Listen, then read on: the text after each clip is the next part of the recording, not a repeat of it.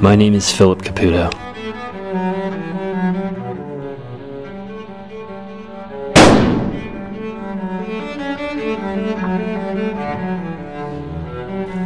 I served on the front lines of the Vietnam War with the 3D Marine Division. We spent our time fighting Viet Cong soldiers in the jungles of Vietnam.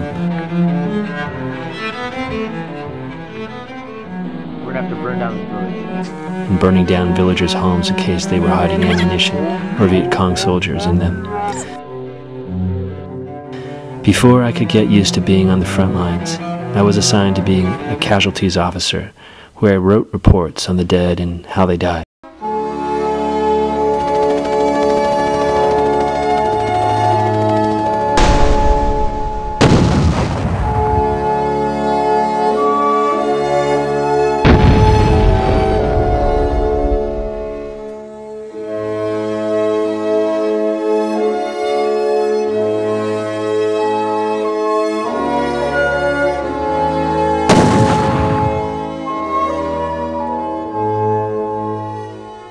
After this, I returned to the front lines and experienced the ways being exposed to death and constant warfare can change a person forever.